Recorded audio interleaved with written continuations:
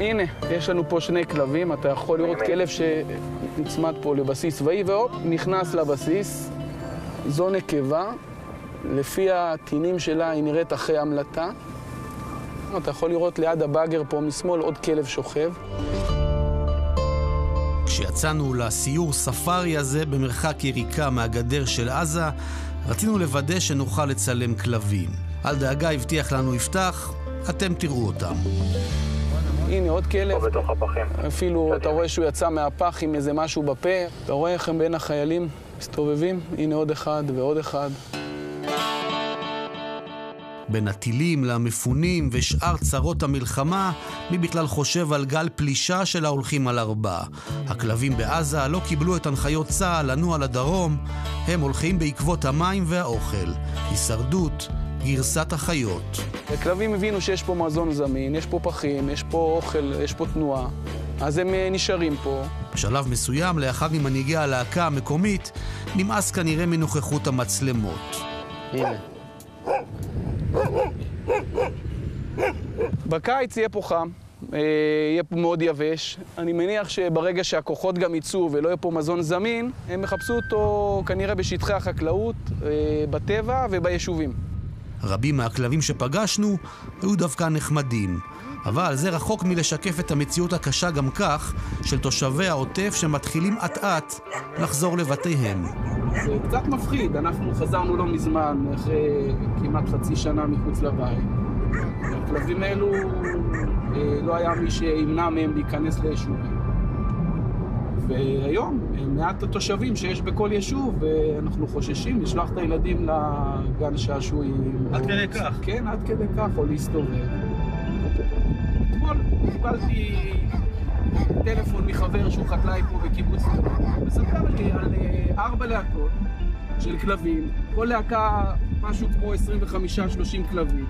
הוא לא מסוגל לרדת מהאוטו, אה, לפתוח ברז מים.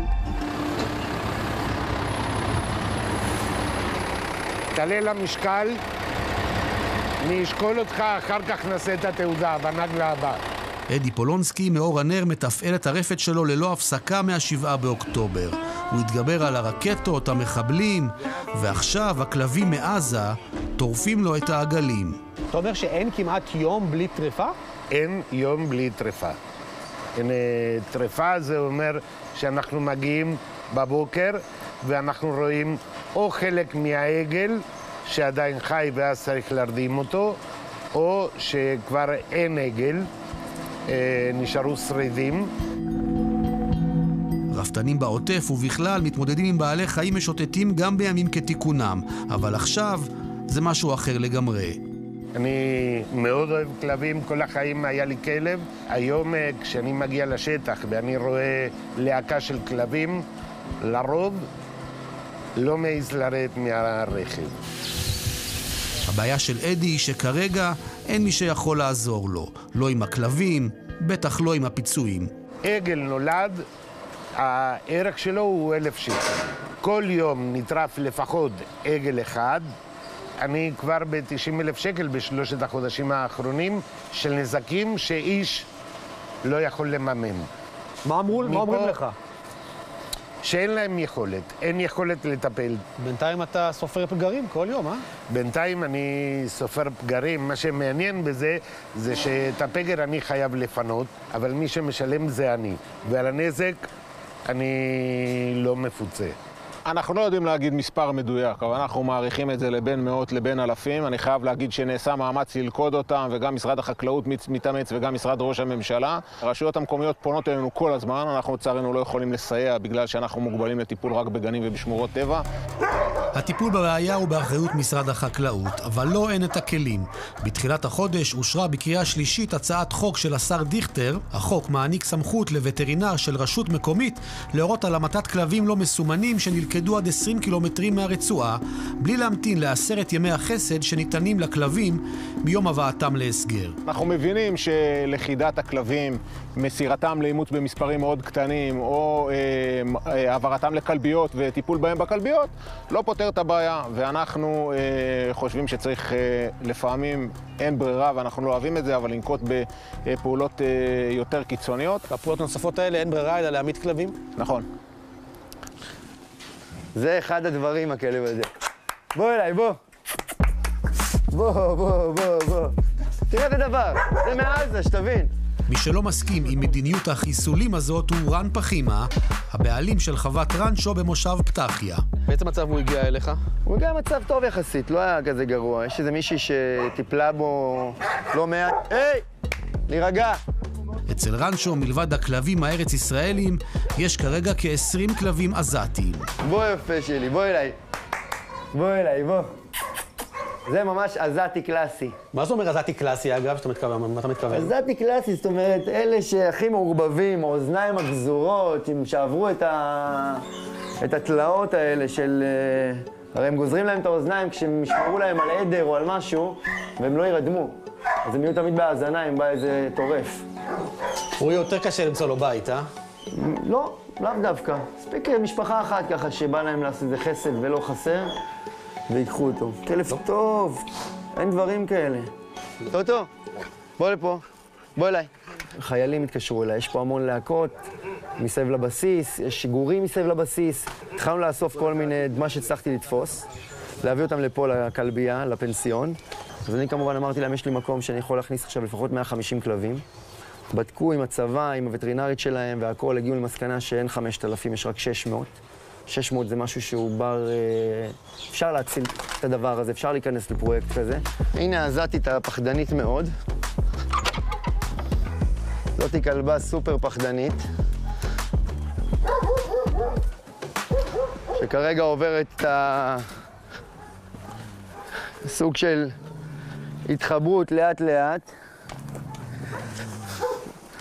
אתה רואה מה זה? ממש פחד, אבל אתה תגיע עוד חודש, והיא כלבה אחרת. ואנחנו יודעים מה עברה לפני כן? אין לי מושג. אני רק יודע שהיא קיבלה שתי חצי הרדמה. אחד לא הספיק לה, אז היא קיבלה את השני מהלוכד. הוא הגיע, סיפר לי עליה, והיא הגיעה בתוך טנדר, בעגלה נגררת כזה, עם ברזלים, קופצת. זה לא, לא הדבר הכי נעים לכלב שהיה חופשי לחלוטין לפני רגע.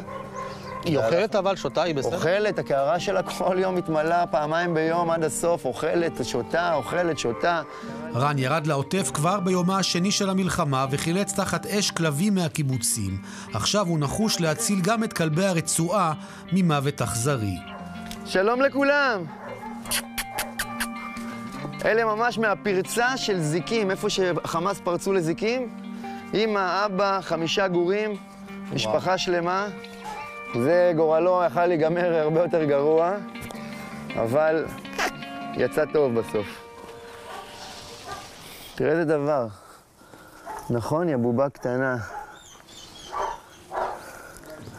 ועוד מעט אני אפריד ביניהם למה הם גומרים אותה כבר עם השיניים, ונתחיל למצוא להם בתים. מבצע חילוץ כזה דורש לא מעט אמצעים שלא תמיד קיימים. רשות הטבע והגנים והצבא מסייעים באיתור, אבל ברור שיש כאן צורך בתרומות ומתנדבים עם רצון טוב. התשעה כלבים שאנחנו חילצנו עם רשות הטבע והגנים, לא ידענו שנחלץ אותם באותו יום. אז לא היה לנו ציוד והכול. אז רן ואני תפסנו אותם, רן בעיקר, ואני פשוט עם ה private שלי, כל התשע היו איתי באוטו. כאילו, שלושה זכרים, נקבה, חמש גורים, באוטו, בלי זממים, בלי כלום. אני לא אומרת שכל האוכלוסייה תהיה כזאת, אבל בינתיים, כל מי שאני אה, נתקלתי בו, אני יכולה לשקם אותו. אני שמח שיש אנשים טובי לב שמוכנים להשקיע משאבים, זמן וכסף בלהציל אה, בעלי חיים, אה, כלבים משוטטים, אבל אני רק יכול להגיד שמה שמגיע מהרצועה זה פשוט אה, בור ללא תחתית.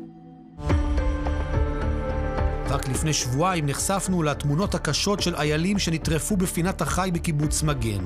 אבל בינתיים, מי שנמצאים בסכנה קיומית אמיתית הם החתולים. איפה השורדת? הנה, הנה, הנה. הנה. הנה, היא באה, בואי, בואי. אנחנו פגשנו את אחת החתולות האחרונות שנשארו בנתיב העשרה. אם נעשה סיבוב במושב עכשיו, הרבה חתולים לא נראה. לא. פעם היו המון, אין, לא היה בית כמעט בלי חתול. איכשהו החתול שלנו, לא יודע איך היא שרדה, אליעזר ניצן לא מת על חתולים כדבריו, אבל תמיד דאג לתת להם אוכל ושתייה. לפני עשרה ימים חזר הביתה עם רעייתו, רק כדי לגלות שכמעט ולא נשאר במי לטפל. בלילה הראשון אשתי יצאה לזרוק השפעה, לא, לא היינו עוד מודעים לזה. פתאום איזה ארבעה כלבים מפחידים, הם ענקים, כמו כלבי זאב קצת. יפים, נחמדים, עד שהם אה, תוקפים. בלילות הם לא נובחים, הם מייללים, זה ממש כמו זאבים. רוב תושבי נתיב העשרה עוד לא חזרו הביתה, אבל כבר הבינו שהמושב שלהם, שנמצא ממש על הגדר, הפך לאופציה נוחה למדי בעבור הפליטים הכלביים. הנה, זאת כנראה האימא. זה חלק מהלהקה. אם יש לכם אה, אומץ, או אתם תאבי הרפתקאות, לכו לשם, תצלמו, אני לא מתקרב יותר מזה. אפשר לכתוב על זה אולי אה, פיליטון, שהכלבים הם מאולפים על ידי הנוח'בה, ואמרו להם, לכו, יש לכם זכות השיבה, תלכו, תפשטו על הארץ, היא טובה. על דבר אחד יסכימו כולם, הכלבים האלה לא צריכים להיות שם. בדיוק כמו החזירים בחיפה, הפתרון המהיר והיעיל הוא גם האכזרי. אתה סומך על מישהו שיעשה את העבודה? תגיד את האמת. לא, לא, אבל לי אסור. מה אתה רוצה שאני אגיד לך, שבא לי לפתור את זה לבד? כן, בא לי, אבל אסור, אני לא אעשה את זה. אתם מוכנים בבקשה לזוז? כולם, כולם. אם אתם שואלים את רן, המטה לא צריכה להיות אפילו על השולחן. רק תנו לו את הזמן והאמצעים, והוא יציל את כולם. כלבים מעזה לא שונים מהכלב שיש לו בבית, זה כלבים פשוט חסרי מזל. אנחנו הולכים כמו בולדוזרים אה, לעשות את המבצע הזה. אנחנו מבחינתנו נציל אה, את המקסימום שאנחנו נוכל. אנחנו אור לגויים, אנחנו צריכים להראות איך מתנהגים עם לבעלי חיים, אנחנו לא פשוט לתפוס את הרובה ולראות, זה הכי קל. תירגעי.